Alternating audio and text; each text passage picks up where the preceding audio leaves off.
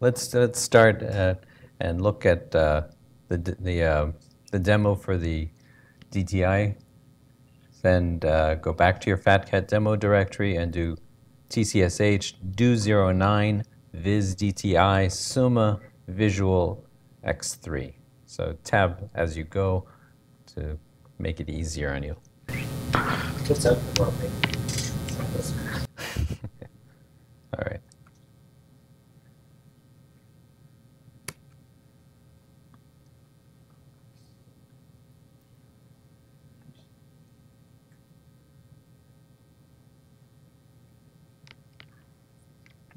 Okay, so it tells us to position the windows on the screen, and let's move those around as we want. And we can tell there's something going on because we see color coming out through the behind the brain there. So, so there's something interesting happening. So let's let's once you've put everything in the places you like, hit uh, enter.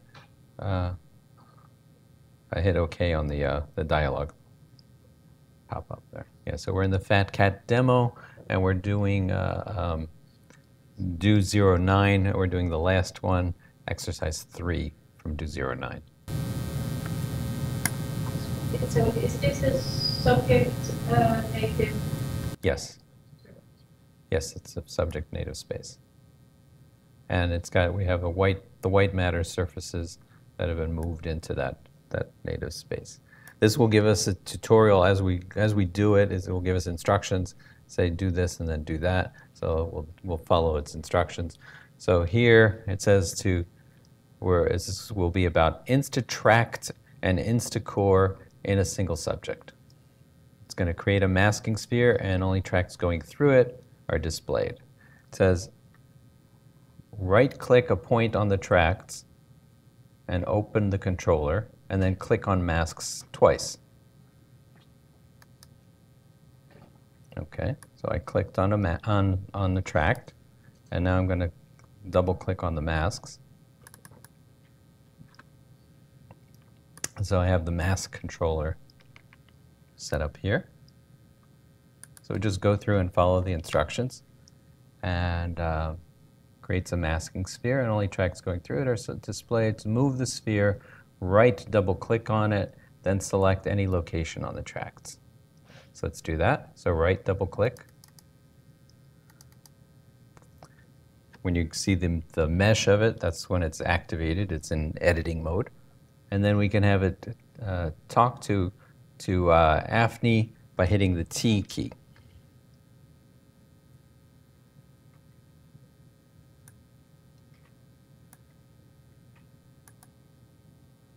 Okay, so we can see that AFNI has the surfaces and it also has this, this uh, circle on the slices. So that's the same as our, our sphere uh, for the masks. Let's continue on with this. And uh, you can bring those uh, the surfaces back in the Suma menu by right by using the left and right brackets.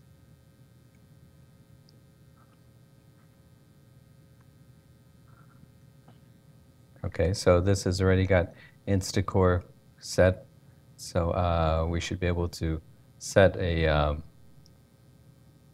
uh, we should be able to run InstaCorr as it is. So um,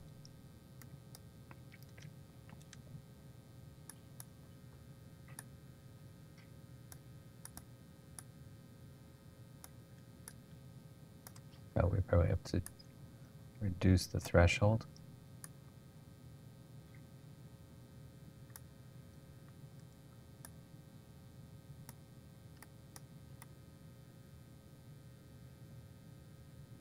Oh, it hasn't been set up. Okay, so let's set it up here.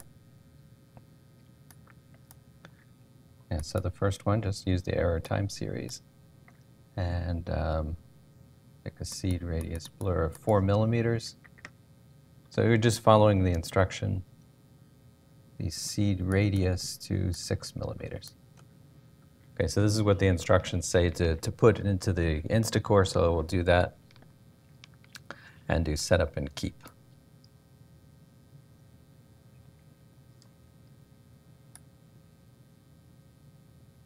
And now as we, we move, we change, use InstaCorr in AFNI, it will send that to Suma. So we're able to see that correlation, both the volume and on the surface at the same time. And we're moving at the same time, we're, we're also seeing the tracks that go through that. So let's give a little extra room for this. And uh,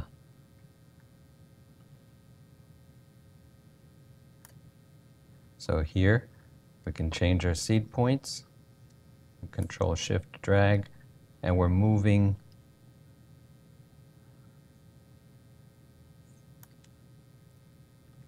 correlation and the mask at the same time. So there's a lot of things going on at the same time, a lot of communication back and forth. Coloring and Suma's coming from AFNI for that, by, for that correlation. So we're seeing correlation, we're seeing the fibers that connect uh, through that, that point too. So it's a, it's a pretty amazing uh, interface for all this. Um, so that's, uh, I think, a pretty interesting part of AFNI Suma's interaction. Yeah, and you can also select somewhere on the surface here. You can click over on the surface and you'll see you'll get this, this dotted shape. I don't know if you can make that out here. If you get the, do the dotted shape is the doppelganger reflection of the, uh, of the, the mask. So we're seeing the mask, but because it's been pried apart, we can move along the, the surface too.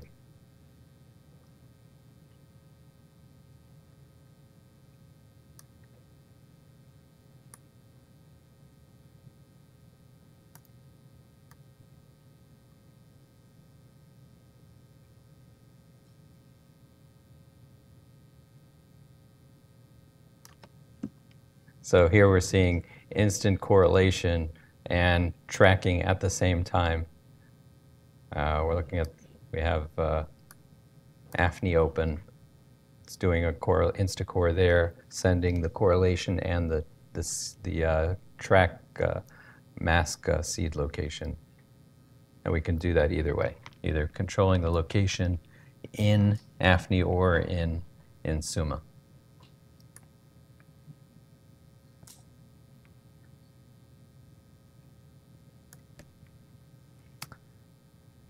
Okay. Any questions about that? Let me continue on in that. I'm not sure if there's anything that... I'm going to close that and continue on to some other demos.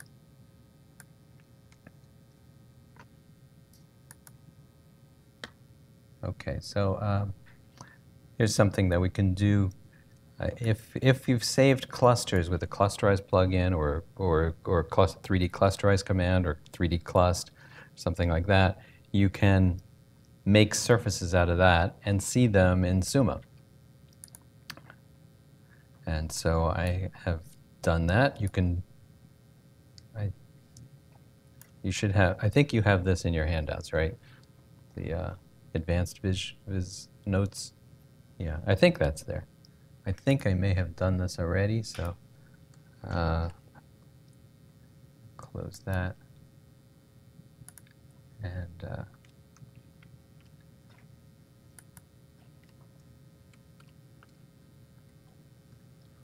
okay, so let me see if I have some of those GIFTI files. I do.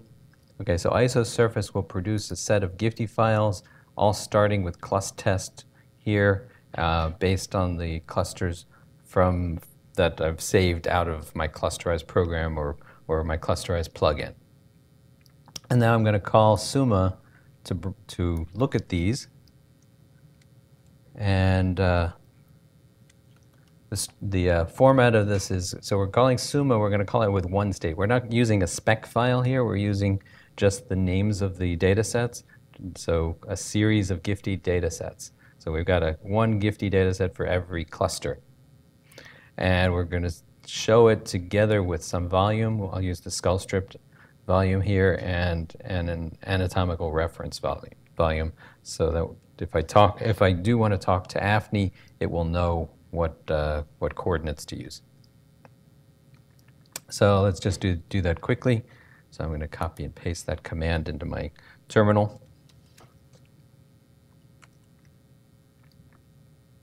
Okay, so here are the same kinds of clusters we've been looking at during the week uh, for uh, uh, visual stimulus and uh, for that, that experiment we've been seeing. And uh, this is what it looks like in three dimensions. And it's another way to visualize your data. So here, this I, I find it really useful to be able to see the whole extent. When you see it in a 2D slice, you don't really get a great feel for how far it goes and the shape of it. So this is, uh, I, I find this very useful. Um, we can click on the volume and control that.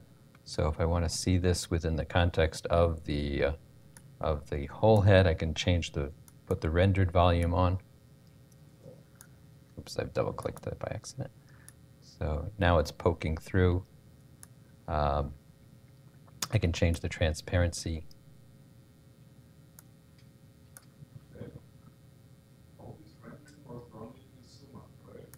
This render, the, the, I created the surfaces with, with isosurface, that one line there. So all I did was call isosurface and tell it to give each one a different color and a different, make a different surface for each one of those. We've done the same kind of thing for ECOG, ECOG data, where each, each CT cluster is a separate electrode. And there we put it all into one data set with slightly different options to, to merge the ROIs and to make one data set of a lot of surfaces together. And so that's another handy way to look at data. So if you have it in the volume, you can look at it in Suma in some way, either as a new surface or as a volume, or both at the same time. So if you have parcellation, you can make a, a surface. That's right. So I'm going to do that. We can do that together for an atlas in a second. And, and it's from the rest, doesn't have to be free. I'm sorry, I couldn't hear you. Doesn't have to be FreeSurfer, it can be just. It can be any parcellation, any segmentation. This is a segmentation itself, really. Uh, the clusters of different numbers for each region. So this the isosurface will look through, see what has the same number, and make a surface out of that.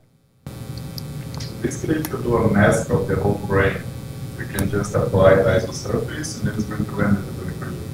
It will, yes. And is there a way to differentiate salt color? It's it's not it's not the level of uh, of FreeSurfer at doing this. It does a rendering of it. This is a um, it's it's uh, maybe a bit better than our, our render plugin, but it's uh, it's not smoothing out the data. We do it. There's a smooth option, but it's not doing this in a, a very rigorous way. But that said, if your data is very well segmented, it do, it does a pretty good job. Uh, each of these, well, maybe I'll show on the atlas a little bit better. Um, yeah, all of these these things are individually controllable. So that when I say that, I mean that I can click on any region and the object controller opens up, and then I can, uh, well, I can change the parameters. So if I do Control P, Control P, not just P, uh, I can change that. And if you look closely, this peach-colored region becomes, well, there's actually two different things going on in here. So there's two regions actually that are similar colors. So sometimes the colors come out a little bit close to each other. So I can look through them, change to the other one. So we have two kind of overlapping clusters.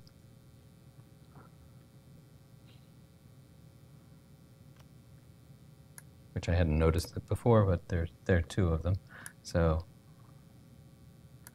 and uh, we can change opacity of one with Control O.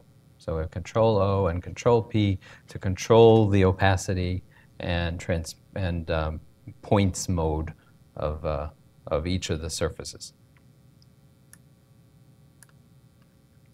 Okay. So I find this a very useful tool for for looking at if you've got activation, how does it form? What's the shape of it throughout the brain? Does it make some kind of sense? And I think it's also good for demonstration of what you're looking at. If you found something interesting, show it within the context of the brain. It's, it's, it's a reasonable way to look at your data. All right, I'm going to close that. And I'm going to continue on. Um,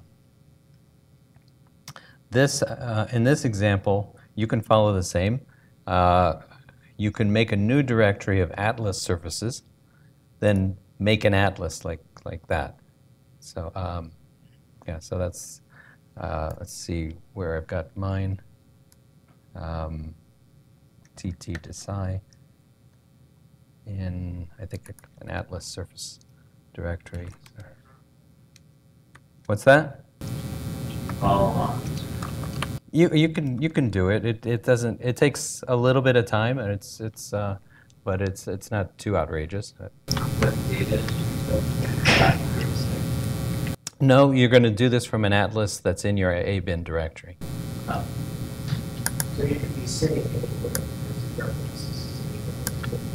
Yeah. So I've already done that, but uh, you can. I'll show you um, what that looks like. So here I have a directory. It's TT Desai. It's got the left and right uh, regions. All uh, these came out of FreeSurfers, so these are FreeSurfers uh, segmentation for uh, over the 75 subjects. and uh, you can uh, run it in the same way that we looked at the clusters. So I'm going to do that here. I'll copy it here. Suma dash one state one state dash i star dot gii for all the GIFTI files in that directory, and dash vol to load the uh, the uh, volume of the TTN27 data set.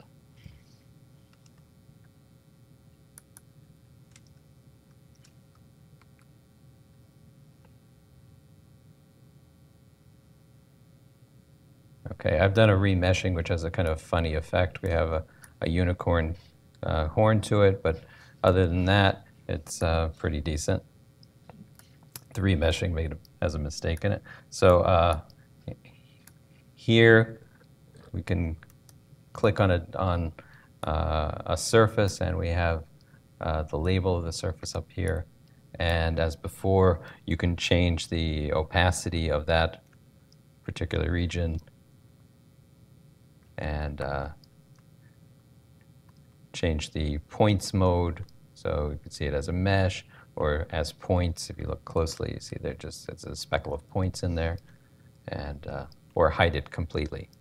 And then once it's hidden completely, you can click down to the next level, down below that, and and repeat the process. Oops, with um, that region below it.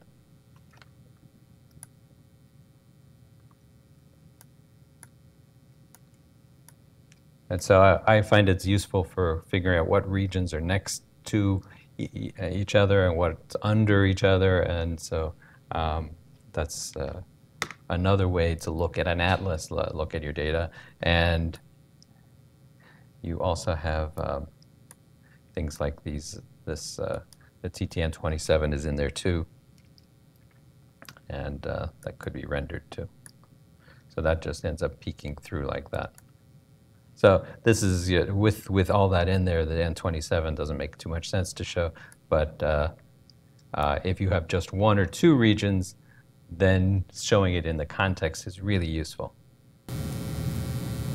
And where, where can we find the notes for, for That's in the uh, handouts. The advanced viz notes should be there.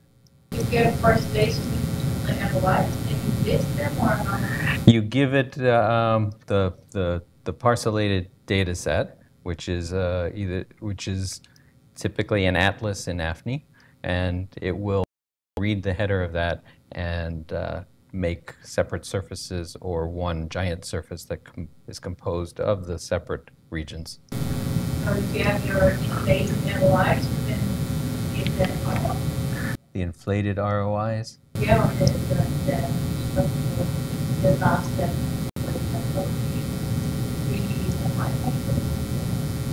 Yeah, I think that will work. Yeah, I think so. I don't see why it wouldn't, actually, so yeah, it should work. Uh, if it has a label, it will use it. If it doesn't have a label, it'll just assign a number. So in either case, you get the, the set of structures out of it. Yeah, so we're seeing the TTN27 data set with it, um, but you don't actually have to include a volume with it. I just did that just to show that it could be done together. So to run this on our own data set, so we need, it, we get the file of the service. That's right, right. I can, um, I can also do this. So the, the structures that I've selected would show up uh, separately. Oh, so I have all that, that's what was showing up here. We have uh, the white matter surface, the white matter region in there. So um, Yeah, so you can mix whether you're customizing on one region or all the regions. And if you want to change everything back to points mode, you can do Shift P. And everything is, is back, and Shift O changes to the default opacity for the whole, whole, uh, surface. You can turn off the convexity that gives it these dark spots with the letter B. Control P, yes, that's, that's what that's for. But Shift P turns on and off everything. It reverts back to, uh, to, to all of it together. These, of course, can continue to talk to AFNI. You could have AFNI open at the same time with this. Oh, I wanted to show this is a new part of AFNI. We have um, new ways to measure thickness. Okay, so measuring thickness. So um, uh, provides a very commonly used way to measure thickness and that is available for everyone. Uh, but sometimes it's not useful for people that uh, are doing studies that aren't the run of the mill. That uh, so if they're things with macaques or marmosets or or uh, children, infants, toddlers, or um, lesions, studies that have lesions in it, FreeSurfer doesn't do a terribly good job of tracking the thickness. So I was interested in making a new set of thickness tools and talking with Rick and Paul. This is the kind of topic that gets us really excited because we've been doing image processing for years and we can come up with, each of us came up with different ways to do it and they all work. So, so I'll go through a couple of these, these ways. This, this is, so these are some examples.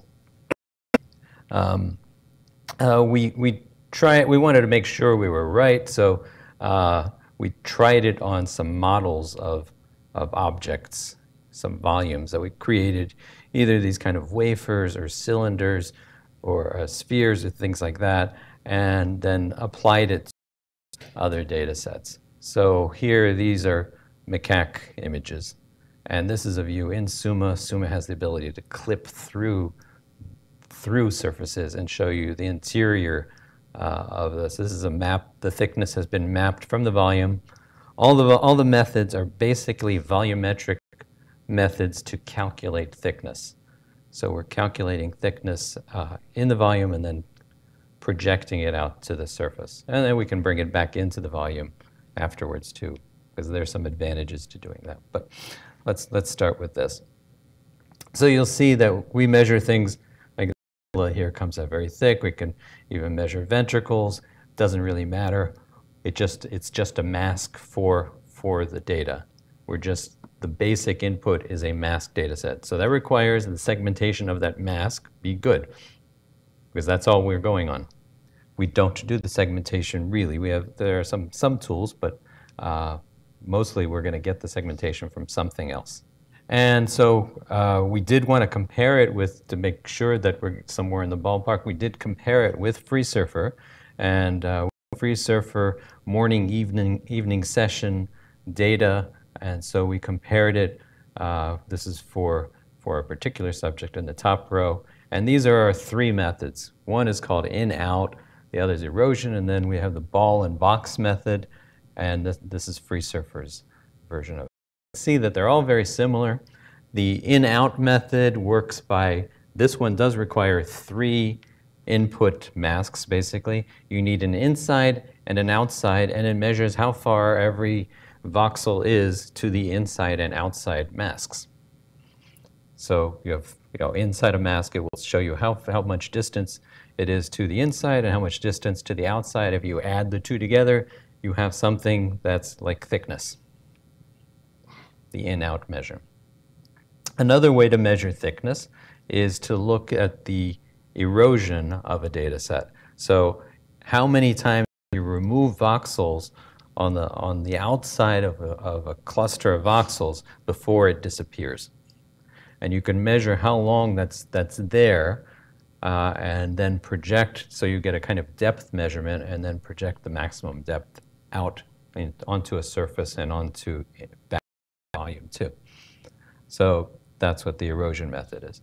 We also have the ball and box method. So the ball and box method, you take a sphere and you put it down in your volume and see what's the largest sphere that you can fit at any place. And then you'll also do that with a box just to make sure you get the corners, kind of like you're playing Tetris and you want to get the corners of the, uh, the box. So we'll put uh, cubes down. So I'll call that the ball and box method. And uh, all the methods seem to work out okay. Uh, they, they're very similar to FreeSurfer. Uh, and this is a graph uh, across, I forget how many subjects, I think it was 35 subjects or so versus uh, uh, FreeSurfer's uh, data. Um, this is actually, I think, maybe on just, this is on just one subject, but we did this repeatedly for multiple subjects, and they were very similar. So the in-out versus FreeSurfer, Um, FreeSurfer stop their their peak, their maximum thickness is five millimeters. That's hard coded, so they won't they won't let anything go below that. The and uh, so mostly it's very similar. This is FreeSurfer morning versus evening.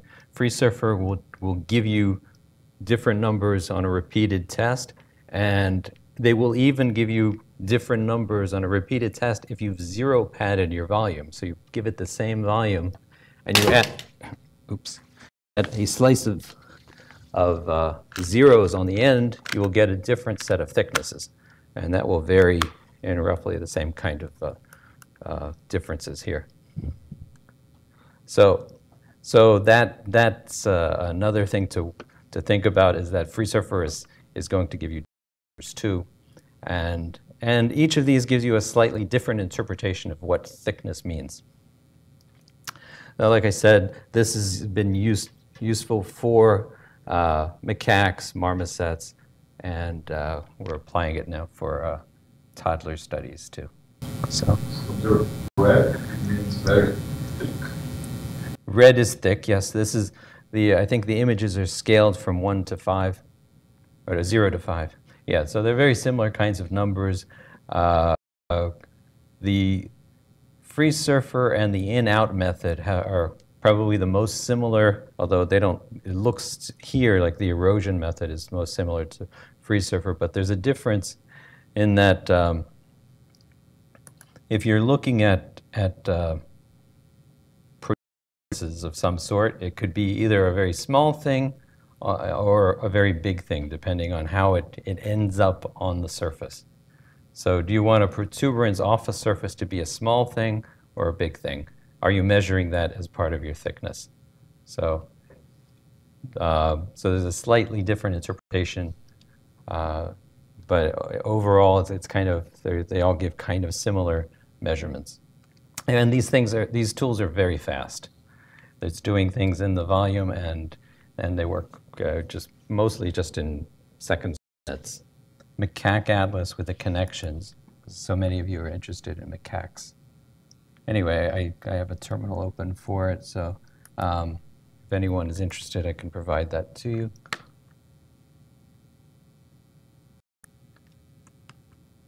Okay, so macaque connections. Um, let me close this Suma. Um, I don't think that you do. I don't think you, you do. But if, you send me a note, I will. Uh, it is available on, on our web server, the macaque connections. I can, I can send a link out for that. Okay, so I'll just start Suma here. Uh, we're showing the D99 atlas and the uh, the connections that Saleem has uh, has uh, uh, given us here. So he's given us a set of connections. Um, we can look at these connections in lots of different ways. They're all labeled with the regions that these are from uh, different tracer studies, many of which he did. So um, he knows something about them, and uh, some of them are from other people. So uh, we can click on any particular region, it shows what region is connected to that, and click on another region to see what that what's connected to that from the tracer studies. Red and yellow means what? Red and yellow mean the the edge coloration. So the edge coloration is the intensity of the the intensity of the connection. Yeah, so was there a strong connection, a moderate connection, a weak connection, uh, and how many cells showed up in the uh, tracer study? And uh, red is the most. We can uh, you can bring up the uh, color scale, the um, Suma controller for that, and this is just following this. But uh, generally, I like to use a striped color scale, you know, one intensity for a different thing. But uh, I can we can also threshold on. So when I pass one, the weak connections are gone, and if I pass two, the moderate connections are gone, and I see only the strong connections. So only the strong survive here. So this doesn't have directionality in it. We can also see this uh, in um, in uh, if I open up another controller with a control N, I can take this. So I've got two copies now, but if I change the view of it, I can see it as a matrix mode instead.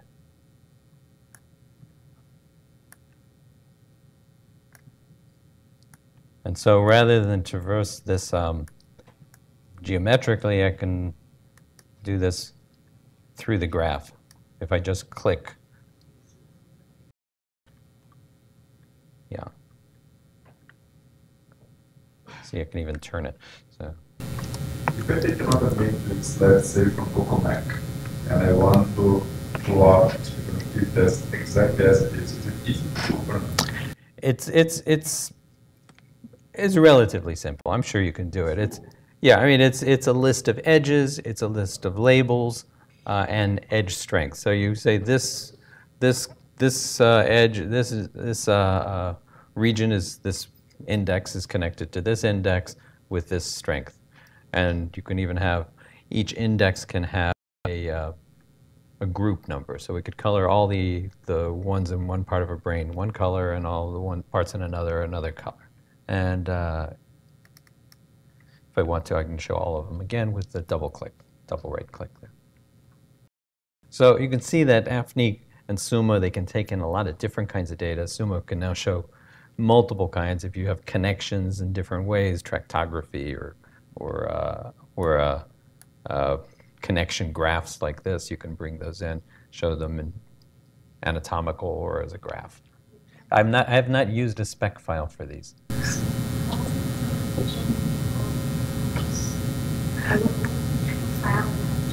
These are, are basically text files of numbers and, and labels. So um, they're, um, yeah, yeah, actually. So um, all right, so here's here's one that uh, well, I made it with uh, collaborations here. So okay, so this is another way of showing a graph. Um, so I've got my data here.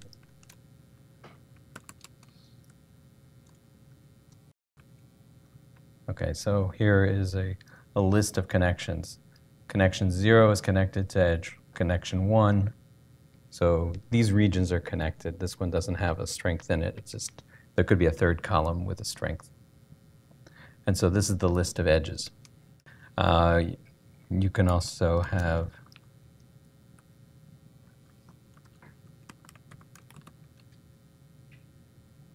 I think this is it. Okay, so here are the nodes in my connection table. Okay, this connection SSC core, one was Ziad so on. And then there's the connection uh, uh, group at the end. Okay. Um,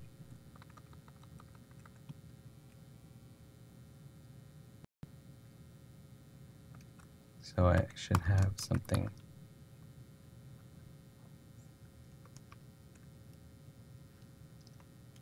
Let's look at collaborations here. Okay, so given that that collaboration thing, uh, the, the we can look at the same data in a different way after I've taken those those data sets as input and I bring it into I convert it to connections.niml dset contributor connections, that connections.niml set. So let's do that and. Um, Oh, I've, uh,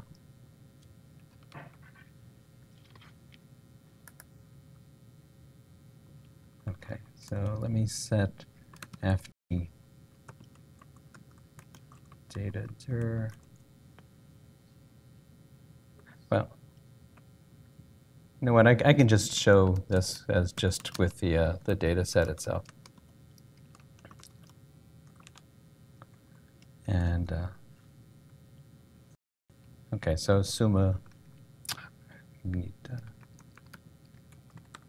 just that.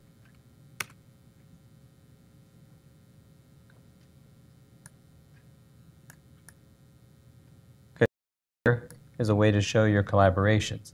So you can, and all it's just another kind of data. It doesn't, you know, it's got a label, it's got nodes, and here I can manipulate this in the same way I did the others. So let's let's do that. I'm going to change the, uh, the connections here. So um, I can change the size of the spheres.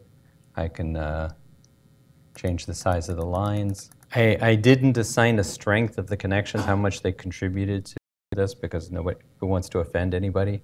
So uh, it's already hard enough. So, uh, and yeah, you could do it by, you can rate something like that if you want to be in trouble with everyone. But yes, you can do that. uh, so here, this works just as it does. You, know, you could set fonts and stuff like that. Uh, if I turn on momentum, I can do that, and that's a fine uh, close for a, for a, a talk, right? So. All right. Are there any questions about uh, about how to visualize stuff in, inside AFNI? Uh, uh, we can normally then uh, add something as uh, strength So that's just the third column on the edge list. So you show that this is connected to this, and then how strong is that? Uh, there's an edge. Um, yeah. So uh, yeah. So it will take that the the edge is mapped from the color bar uh, or to the color bar. Um, so here it's in red because they're all equal, but on the The edge boundary make yourself, is that, that's not included? that's part of the graph, right? So when it converts those, it says that this is connected to this and this is connected to this. Those it puts in a default edge, a default strength of one. It's yes, it's basically a grid file. Yes, it's not uh, the grid file. It's the GD set uh, file. But bringing into AFNI, it's it's pretty much the same thing. Into Suma, the dash GD set. Do you have um, functions to measure connectivity strength, like eigenvectors and gravity this? I can Like a, another way using the Bayes approach. Yeah. So that you have you can calculate the so-called centrality outcomes. Yeah, definitely.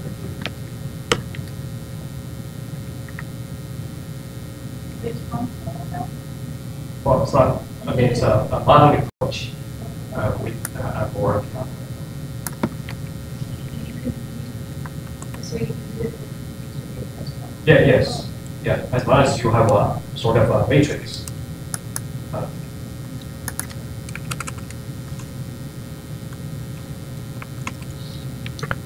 Um, see, I wanted to show one, one or two other little things.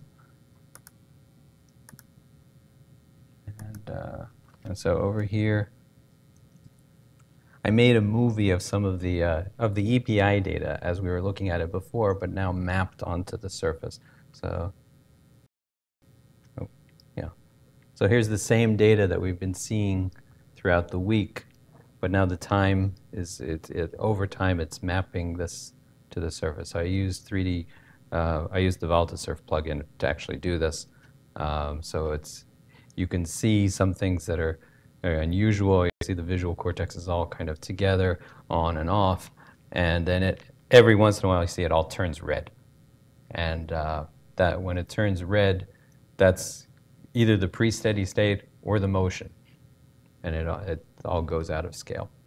So uh, this is all mapping into these are. um uh, the uh, well, I can't turn it around because it's it's just a movie. It's not Suma.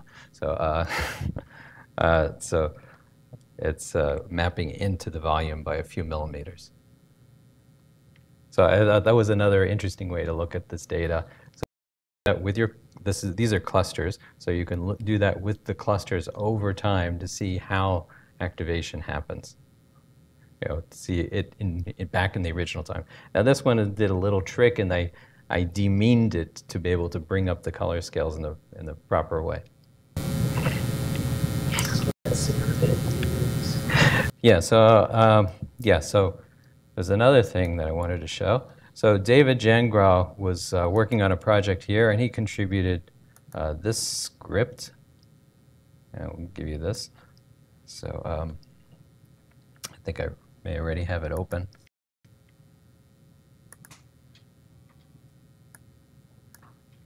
Um, okay, well, I'll just put it here. So David Jangraw's Peter Bandettini's group, he made a, a script that makes montages of Suma, Suma views. So you can get different views, left, right, up, down, and this will save this for you. Now he was working on this as and and uh, as part of another project, which was pretty interesting to me. That uh, and this one made it to the news, so we were pretty happy about that. But Paul Taylor and I worked on this. So let's see if I have one of these. Yeah, here it is. I should probably turn the volume on. So you see what's in the background here? My interest in creating this project, bringing So this was Music in the Brain at the Kennedy Center, and got to see Suma with our rendering there hanging over the orchestra and uh, over Renee Fleming as she was singing the song because this was scanned in the scanner at at uh, NIH, and so uh, that's uh, David Jangraw explaining to her what what they're doing there. So uh, what's that? I'm sorry, it's hard to hear you. yes, there are a lot of issues. Uh, respiration, motion.